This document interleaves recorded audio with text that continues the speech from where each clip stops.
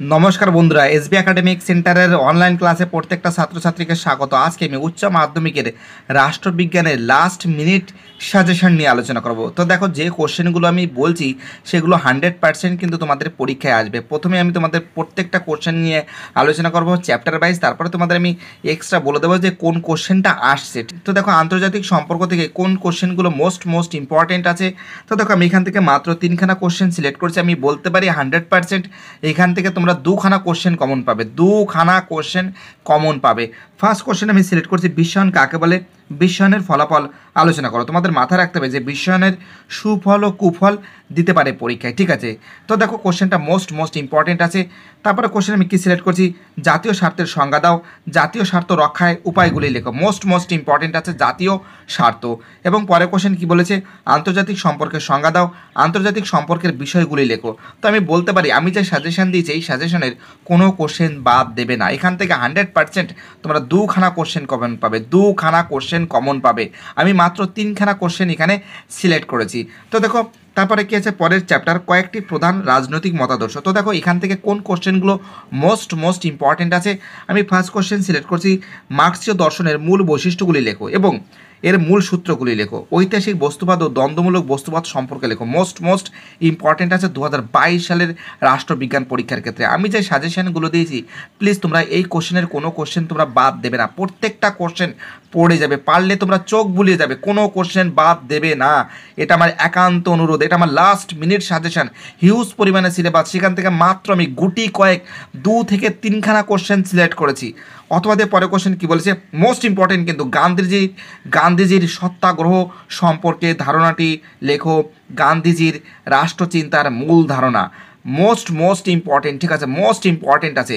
এবং পরে কোশ্চেন কি আছে? উদারনীতিবাদ সম্পর্কে লেখো। মোস্ট ইম্পর্টেন্ট এই যে তিনখানা কোশ্চেন দিয়েছি, এই তিনখানা কোশ্চেনের কোনো কোশ্চেন তোমরা বাদ দেবে না, ঠিক আছে? তো দেখো আমি লাস্টের দিকে আমি তোমাদের বলে দেবো মাত্র পাঁচখানা কোশ্চেন এই পাঁচখানা কোশ্চেন আসবে, ঠিক আছে? একদম সিরিয়াস সিরিয়াস সাজেশান। মাত্র পাঁচখানা কোশ্চেন বলব, ওই পাঁচখানা কোশ্চেনই আসবে। ঠিক আছে?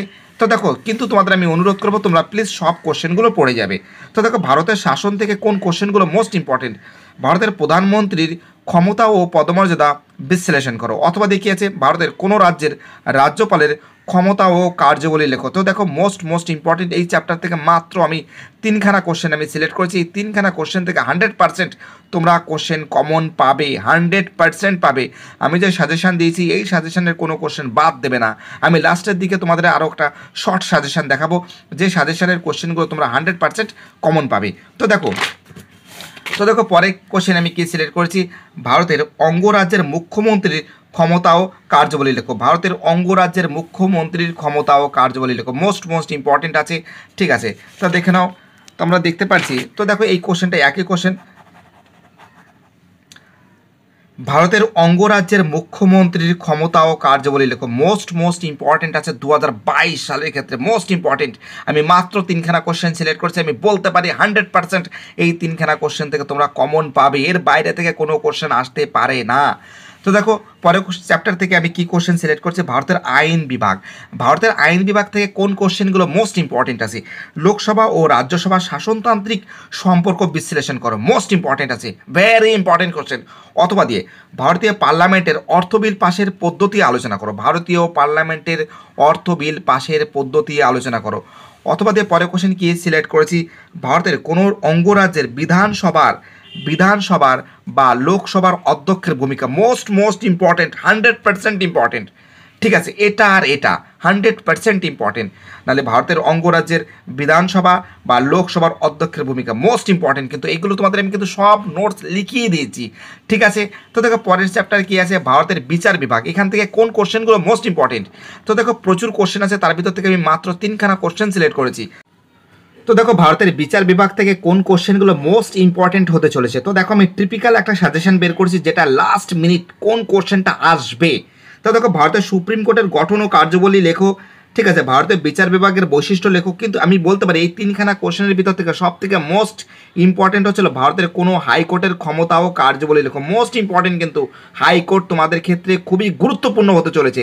ভারতীয় বিচার বিভাগের বৈশিষ্ট্য এবং ভারতের কোনো হাইকোর্টের ক্ষমতা ও কার্যবলী লেখো। হাইকোর্ট মোস্ট ইম্পর্টেন্ট দু সালে উচ্চ মাধ্যমিক পরীক্ষার ক্ষেত্রে হাইকোর্টটা ভালো করে পড়ে যাবে। ভারতের সুপ্রিম কোর্টের গঠন ও কার্যবলী লেখো। অথবা দিয়ে ভারতীয় বিচার বিভাগের বৈশিষ্ট্য লেখো। অথবা দিয়ে কী বলেছে, ভারতের কোনো হাইকোর্টের ক্ষমতা ও কার্যবলী লেখো। এই তিনখানা কোশ্চেন থেকে হান্ড্রেড পার্সেন্ট তোমরা একটা কোশ্চেন কমন পাবে। হান্ড্রেড পার্সেন্ট পাবে। তো দেখো, আমি যে সাজেশান দিয়েছি, এই সাজেশানের কোনো কোশ্চেন তোমরা বাদ দেবে না। আমি যে কথাগুলো বলছি, তোমরা মন দিয়ে শুনবে। এবার আমি তোমাদের শর্ট সাজেশানটা দেখাবো। যারা একদম পড়াশোনা করে না, যারা, ঠিক আছে কোনো দিনও বই বের করেনি, তারা কি করে পাস করবে? তারা কি করে কমন পাবে? তাদের জন্য একটা শর্ট সাজেশান আমি তোমাদের আমি বলব। তো দেখো, এখান থেকে আমি তিনখানা কোশ্চেন আমি বলেছি। তো তোমরা এখান থেকে দুটো কোশ্চেন পড়বে, যারা একদম পড়াশোনা করেনি, তাদের জন্য মোস্ট ইম্পর্টেন্ট মাত্র কয়েকটা কোশ্চেন আমি সিলেক্ট করেছি। বিশ্বায়ন পড়বে এবং আন্তর্জাতিক সম্পর্কের সংখ্যা দাও। ঠিক আছে? এই দুটো কোশ্চেন তোমরা পড়বে। ঠিক আছে? যারা একদম পড়াশোনা করেনি এবং যারা ভালো করে পড়াশোনা করছে, যারা hundred percent eighty marks attend করে আসবে, তারা কিন্তু সব কোশ্চেন পড়বে। তো দেখো, দু নম্বর কোশ্চেন আমি কোনগুলো বলব? যারা একদম শর্ট পড়াশোনা করবে, তারা মার্ক্সবাদ পড়বে এবং গান্ধীজির সত্যাগ্রহ পড়বে। ঠিক আছে, গান্ধীজির সত্যাগ্রহ কিন্তু মোস্ট ইম্পর্টেন্ট হতে চলছে কিন্তু। অনেকে কিন্তু উদারনীতিবাদ পড়ছে। আমার মতে কিন্তু উদারনীতিবাদ তোমরা একটু দেখে যাবে বাট মার্কসের যেটা আছে মার্কসের এই মার্কস কোশ্চেনটা কিন্তু খুব ইম্পর্টেন্ট এটা কিন্তু তোমাদের একটু বড় করে পড়ে যাবে, ঠিক আছে? এর ভিতর থেকে কিন্তু দ্বন্দ্বমূলক বস্তুবাদ, ঐতিহাসিক বস্তুবাদ, ঠিক আছে? এইগুলো কিন্তু তোমরা ভালো করে পড়ে যাবে। এটা কিন্তু মোস্ট ইম্পর্টেন্ট মার্ক্সবাদ এবং গান্ধীবাদ। আমার মতে এই দুটো কোশ্চেন থেকে হান্ড্রেড পার্সেন্ট তোমরা একটা কোশ্চেন কমন পাবে। এখানে কিন্তু বেশি চালাকি তোমরা করবে না। কারণ এখান থেকে এখান থেকে কিন্তু কোনো ওয়ার থাকে না। এখান থেকে কোনো ওয়ার থাকে না। তোমাকে একটাই কোশ্চেন পড়ে যেতে হবে, ঠিক আছে? একটা কোশ্চেনই তোমাকে লিখতে হবে। যদি তোমাদের কপাল ভালো থাকে তাহলে ওয়ার পেতে পারো। কিন্তু বেশিরভাগ ক্ষেত্রে যতটা আমি জানি এখান থেকে কোনো ওয়ার থাকে না। অনেক ছেলেমেয়েরা ভাববে যে আমি গান্ধীবাদ পড়ে যাব এবং মার্ক্সবাদ পড়ে যাব, ঠিক আছে? যে কোনো একটা পড়ে গেলে হলো। কিন্তু গান্ধীবাদ পড়ে গেলে হয়তো মার্ক্সবাদ দিলেও, তো দেখো, মার্ক্সবাদ পড়ে গেলেও হয়তো গান্ধীবাদ দিলেও আমি তোমাদের একই কথা বলব যে এখান থেকে কোনো কোশ্চেন বাদ দেবে না। গান্ধীবাদ এবং মার্ক্সবাদ, এটা আমার মূল সাজেশনের লাস্ট মিনিট সাজেশন হিসাবে এটাকে আমি সিলেক্ট করেছি। ঠিক আছে?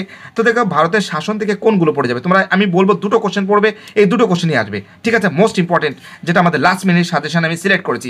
ভারতের প্রধানমন্ত্রীর ক্ষমতা ও পদমর্যাদা বিশ্লেষণ করো। ভারতের কোনো রাজ্যের রাজ্যপালের ক্ষমতা ও কার্যবলী লেখো। তো দেখো, এখান থেকে চারখানা কোশ্চেনের মধ্যে থেকে আমি লাস্ট মিনিট সাজেশনে একদম একদম মানে মানে কি বলে ওটাকে? একদম মানে পাখির চোখ হিসেবে আমি তোমাদের বলছি।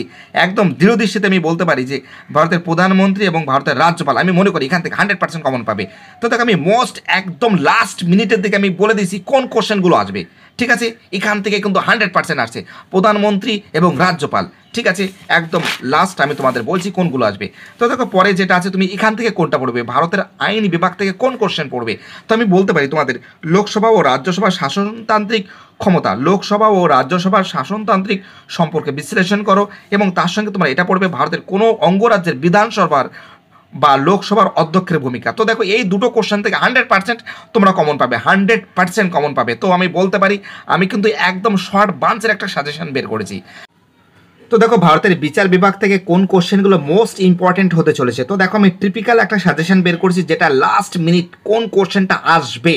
তো দেখো, ভারতের সুপ্রিম কোর্টের গঠন ও কার্যবলী লেখো ঠিক আছে, ভারতের বিচার বিভাগের বৈশিষ্ট্য লেখক, কিন্তু আমি বলতে পারি এই তিনখানা কোশ্চেনের ভিতর থেকে সব থেকে মোস্ট ইম্পর্টেন্ট হচ্ছিল ভারতের কোনো হাইকোর্টের ক্ষমতা ও কার্যবলী লেখো মোস্ট ইম্পর্টেন্ট কিন্তু হাইকোর্ট তোমাদের ক্ষেত্রে খুবই গুরুত্বপূর্ণ হতে চলেছে। ভারতীয় বিচার বিভাগের বৈশিষ্ট্য এবং ভারতের কোনো হাইকোর্টের ক্ষমতা ও কার্যবলী লেখো হাইকোর্ট মোস্ট ইম্পর্টেন্ট দু হাজার বাইশ সালে উচ্চ মাধ্যমিক পরীক্ষার ক্ষেত্রে হাইকোর্টটা ভালো করে পড়ে যাবে।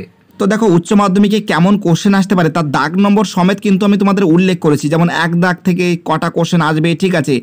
দু দাগের কোশ্চেন তিন দাগের কোশ্চেন চার দাগের কোশ্চেন পাঁচ দাগের কোশ্চেন তোমাদের এরকম টাইপের কোশ্চেনগুলো কিন্তু আসবে, ঠিক আছে? তো দেখো, আমি আজকে টিপিক্যাল একটা সাজেশন বের করেছি, একদম লাস্ট মিনিট সাজেশন যেটা আসবেই। তো তোমাদের কাছে আমার একান্ত অনুরোধ, তোমরা অবশ্যই ভালোভাবে পড়াশোনা করবে। আমি যে সাজেশন দিয়েছি, এই সাজেশনের কোনো কোশ্চেন তোমরা বাদ দেবে না। প্রত্যেকটা কোশ্চেন ইম্পর্টেন্ট প্রত্যেকটা কোশ্চেন ভাইটাল দু সালে উচ্চ মাধ্যমিক